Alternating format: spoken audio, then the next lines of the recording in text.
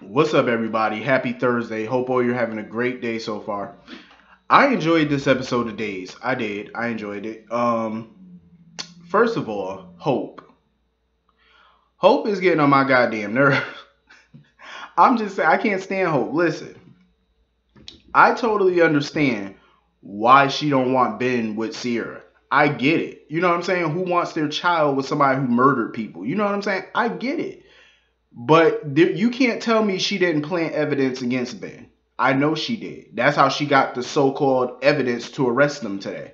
I was like, yeah, because you fucking planted that evidence. She investigated this crime already. She had forensic techs all over that cabin, CSI units, or just everybody investigated that. They found nothing that links that fire to Ben. Absolutely nothing. Nothing. Now you reopen the investigation, and mind you, she told Shawn, "Oh, I'm gonna get Ben off the streets by the end of the day, by any means necessary." Once you say any means necessary, I knew she was gonna. I knew she was gonna frame him. I knew it. I said I knew it. I knew it. And that just goes to show the type of hypocritical person she is. I knew it.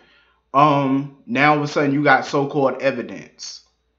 I hope like hell when they find proof that she planted that evidence, I hope Ben sues that city. I hope he sues the town of Salem and she gets fired. He probably gonna get millions off of this shit. I hope he do. That way he can finally get money since nobody in that town will hire him. He can finally get some cash. You know what I'm saying? Like I just hope that he sues the shit out that town because Hope is such a hypocrite. Like she, for years, she looked her nose down at the DiMeras. For years, she always called Stefano, EJ, Andre a bunch of criminals, always trying to lock them up.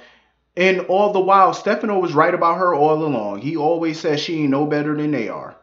Stefano always felt that way about her. She always looked her nose down at Stefano and the, and the rest of the DiMeras, but you're no different than them. You're hell, you ain't no different than Victor her own father-in-law. You're no different than him.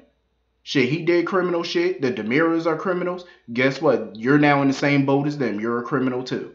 The moment she pulled that trigger on Stefano, you became a murderer your damn self. You know what I'm saying? You became one of them.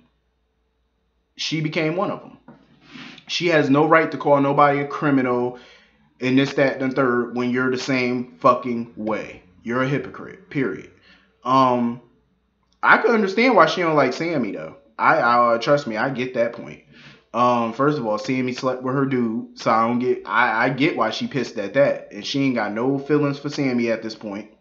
I think she genuinely feel bad for what happened to Marlena, but as far as anything else with Sami, she really just don't like her, and I kind of don't blame her. Like I said before, Sami, I could take her in small doses. I really could. I could take her in small fucking doses, but I'm glad Sami's not back full time. Thank the Lord.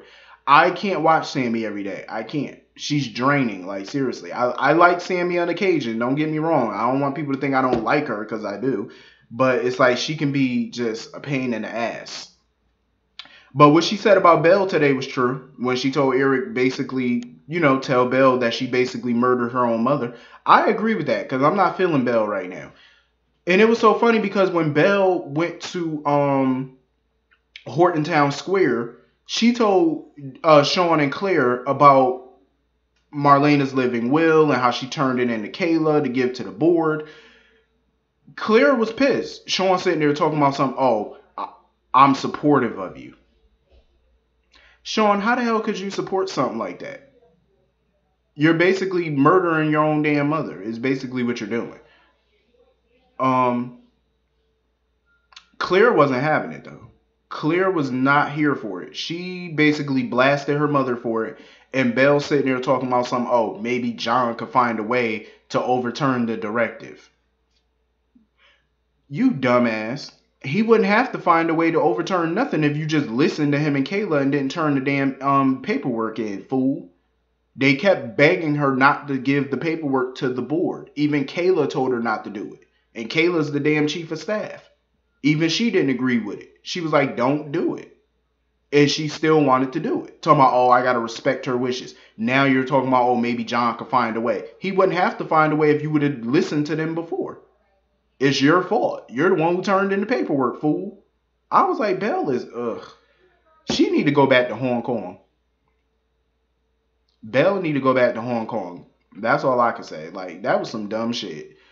Um, first of all, correct me if I'm wrong, but didn't Belle basically admit yesterday that she kind of talked Marlena into signing a living will? Marlena wouldn't even sign a living will. She kind of talked her into doing it. So this is basically all Belle's fault.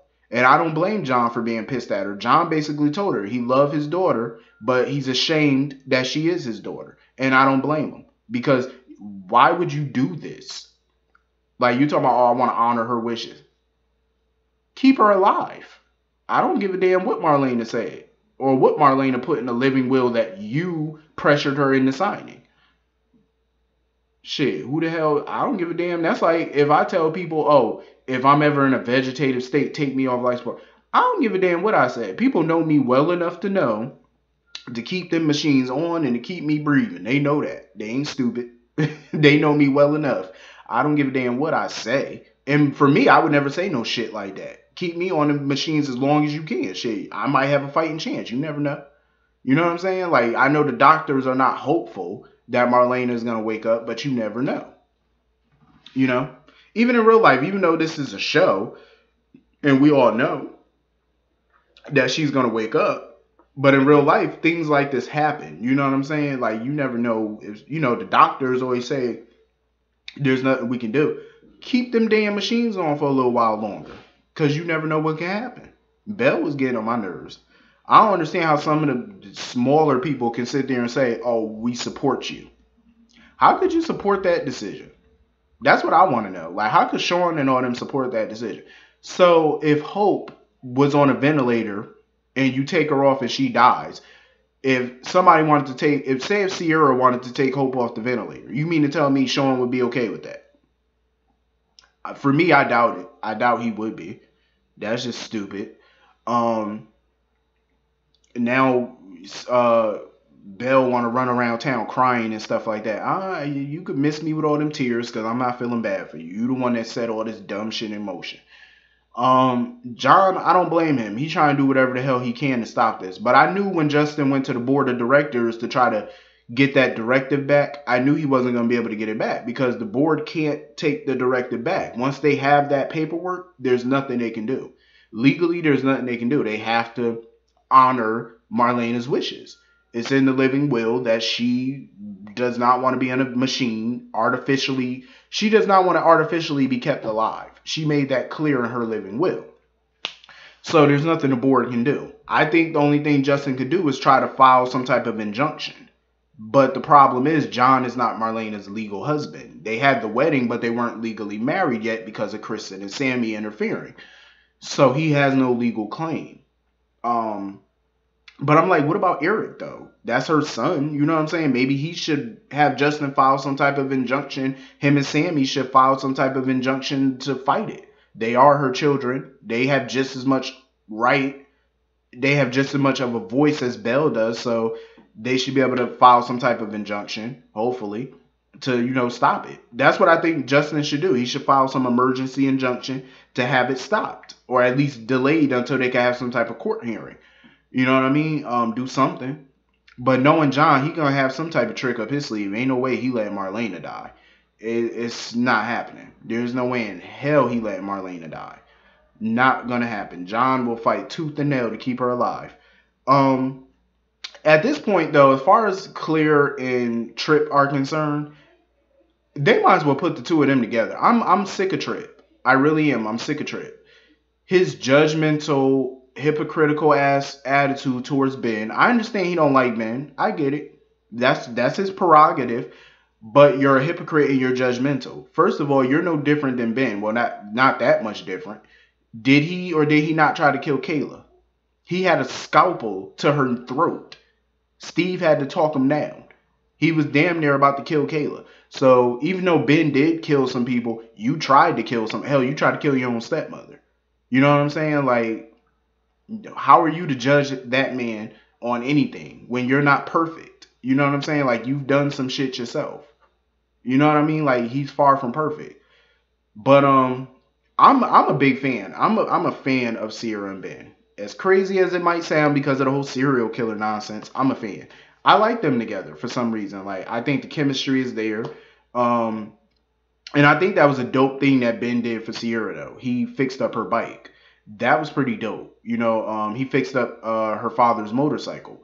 And everybody knows that Ciara loves that motorcycle, you know, especially since Bo died and stuff like that. So it was dope that he fixed it up. Um, I'm definitely here for Ciara and Ben getting together. Hopefully, he could find some evidence to prove that Hope framed him for that cabin fire because I know Ben didn't do that shit. She have no evidence. Now, all of a sudden, you got evidence. Bullshit. And I'm pretty sure Rafe and them gonna figure it out that she framed that boy. We all know she did. But anyway, I hope boy you have a great day. I'll see you all later. Peace. Smash that like button, smash that comment button, and tell me what you thought of today's episode. Peace.